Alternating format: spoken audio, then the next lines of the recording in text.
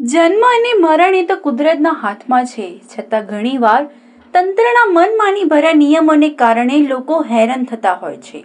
સામાન્ય રીતે કોઈને ગળે ઉતરે નહીં તેવો ભાવનગર તાલુકાના ભડી ગામનો કિસ્સો છે. છતાં એ વાસ્તવિકતા છે. પિતાના ઘરે પ્રસૂતિ માટે આવેલી દીકરીને પિતાના ઘરે જ નોર્મલ ડિલિવરી થઈ જતા સ્થાનિક તલાટી મંત્રી હોસ્પિટલે નહીં થઈ હોવાથી જન્મની નોંધણી પણ કરતા ન હતા. દસ દિવસ દીકરીના પિતાને ધક્કા ખવડાવ્યા બાદ અંતે જન્મની નોંધણી કરી. વર્ષો પહેલા કરતા હાલમાં આરોગ્યની સુવિધાઓ પ્રમાણમાં ઘણી સારી છે. ગામે ગામે આરોગ્ય કેન્દ્ર અને હોસ્પિટલો છે. માતા મૃત્યુ દર અને જન્મવેન બાળકના મૃત્યુ ન થાય તે માટે સરકાર પણ ચિંતિત છે અને તે માટે અનેક યોજનાઓ અને આરોગ્ય સુવિધાઓ આપે છે.